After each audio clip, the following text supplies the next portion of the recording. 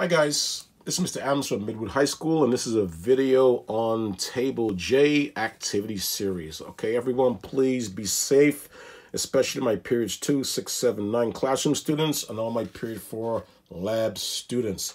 All right guys, what we're going to do today, we're going to look at Table J, right, and the activity series. And if you notice at the top, right, the most active metals tend to be higher, alrighty? And the metals, as you go down lower, tend to be less active.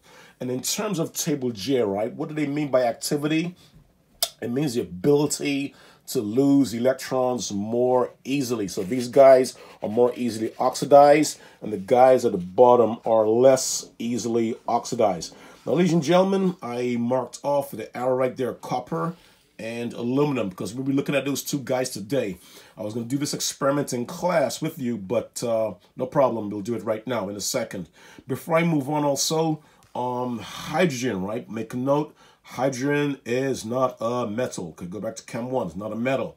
But on table J, hydrogen represents H plus, H3O plus, right? In terms of acid, all right? So all these guys, okay, above okay these metals above hydrogen are more active than it. Okay and we'll analyze that in a second.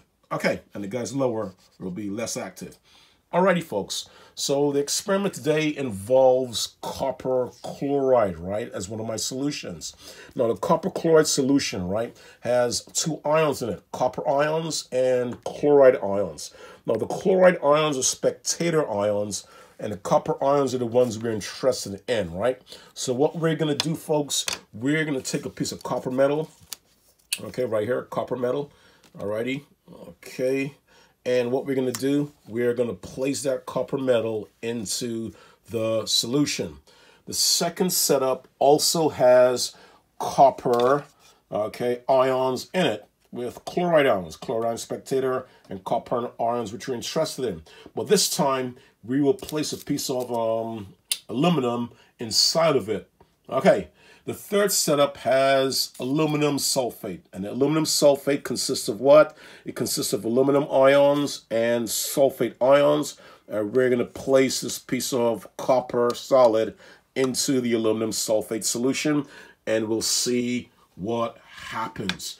Now, guys, before I jump into the results, right, I want you guys to make a prediction in terms of whether setup one, two, or three is going to react, okay?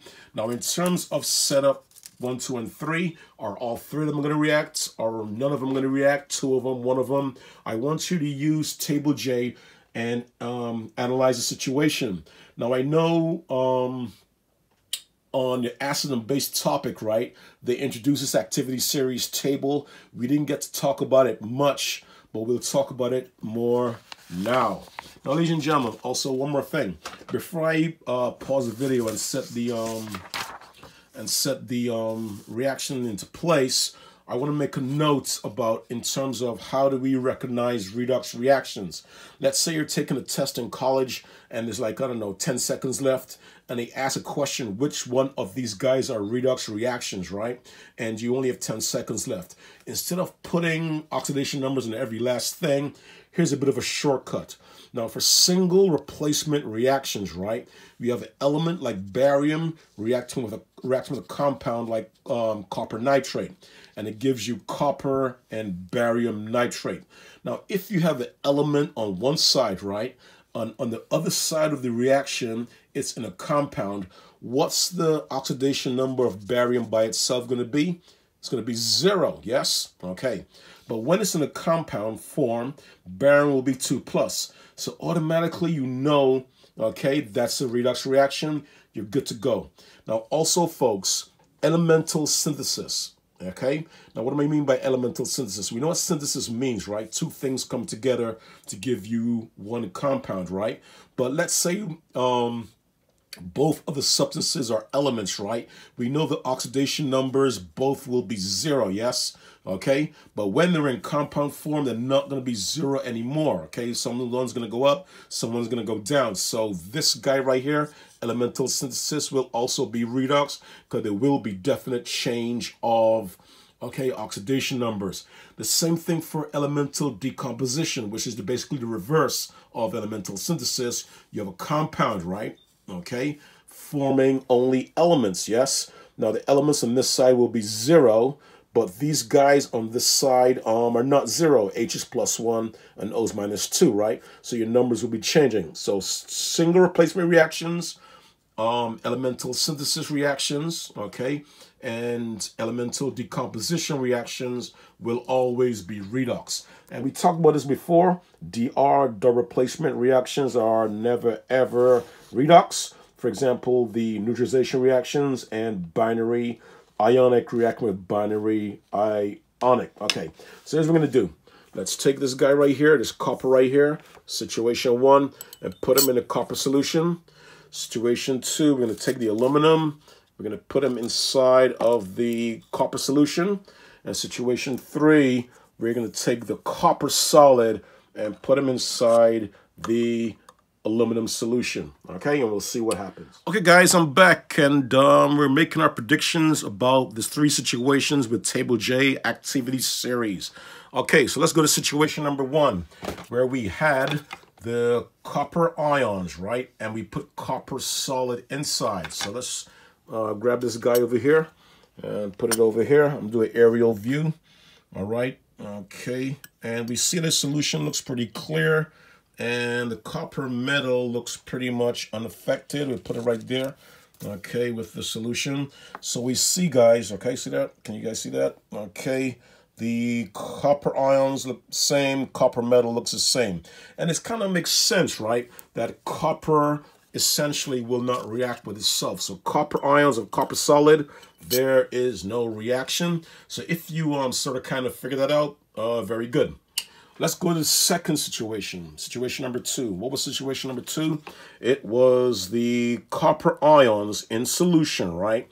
But this time, what do we do? We put um, aluminum inside of it, yes? Okay, so let's bring it over here for a second. All right, first, aerial view. Okay, now guys, can you see anything floating around um, inside on the sides with a small container? All right, let me hold it up a bit, the different way. Okay, I'm swirling it. Okay, I'm gonna put the camera a little closer. Do you see anything around the bottom there? Like looks like a like mossy kind of dark stuff right there. That stuff, folks, is copper. All right, so this reaction definitely took place. Let me take the um, piece of uh, aluminum metal out and I'll put it right here. Okay, let's look at it carefully. Okay, can you guys see that? Now look at the difference, folks. Look at the difference between this side and the bottom right here, which was in contact with the copper ions, as opposed to the top part right there that wasn't in contact with it. We see that there's definite change, definite color change and production of new material, right? So that dark, um, mossy stuff right there, looking stuff, is copper, all right? Also inside of the container, all right? Okay, do aerial view again. You see that stuff swimming around inside? That's a new substance form. That's copper solid, okay? All righty. So we got a reaction taking place in uh, the second solution. All right, so let's try situation number three. Okay, before I pick it up, what was it again? It was aluminum ions, right? In solution, and we put uh, copper solid into it. So let's see what happens. Let's bring it over here. All right, I'm looking doing aerial view. Solution looks mm, kind of clear. All right, let's take out the metal. Let's analyze it. And the metal looks pretty much unaffected. It's just wet, but otherwise it's there's no reaction. Okay, so who's brave? Who's to tell me how come, okay, there was no reaction in situation one, reaction in situation two, and no reaction in situation three. Okay? As always, guys, you're right. All right? It's all about Table J okay and location location location if we notice right in terms of aluminum, okay, it is higher on table J when compared to copper, right? And let's go through some um some items right here, guys. Okay, in terms of table J, okay? You can make a note of these, all right? Okay. Uh, for number one, right? Higher metals, okay? are more easily oxidized. Okay, they do Leo better. So the higher R on table J, okay, for example, aluminum, you more easily lose electrons to something, to another metal solution that's below you. Okay, point number two. For a reaction to be spontaneous. Now, they can give you a question, folks, and ask you, um, is this reaction going to be spontaneous or not in terms of a single replacement reaction? You don't guess. The solid metal must, must, must be higher on table J than the ions in aqueous solution. So let's analyze that slowly. Okay, aluminum here, solid metal. Copper here, solid metal. Solution, ions, solution, ions, right? So they're, they're the same thing, right? But what's the difference? In terms of aluminum, right, solid, he is higher on table J than copper ions. So he will take place spontaneously. Now, once again, in terms of copper solid, right, being inside aluminum ions, the copper solid, in this case right here, copper's way down here, copper solid is below aluminum ions, so that reaction is non-spontaneous. Okay, Point number three, we discussed already. Hydrogen on table J represents H plus or H3O plus. So that represents acid. And you guys did that with experiment with a funny eudiometer tube.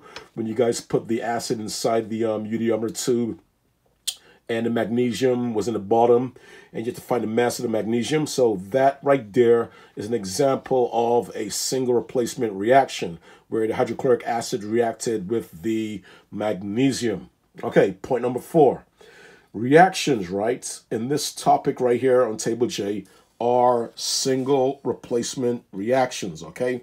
So single replacement is always an element in a compound giving you an element in a compound, okay? And you can tell whether it'll be spontaneous or not based on the location. All right, guys, it's winding down, please watch the video I'm going to do on um, this topic again on table J in that video, I'm going to actually go through different reactions, okay, and show which ones work and which ones don't. But I did want you guys to see um, in reality what happens when you place the metals in different solutions rather than just talking about it. So I think it's pretty cool right here. See that? Oh, man. Nice reaction. Okay. All right, guys. As always, hard work plus sacrifice equals success. Um, please, please, please be safe. Take care. And uh, we'll get over this. Take care.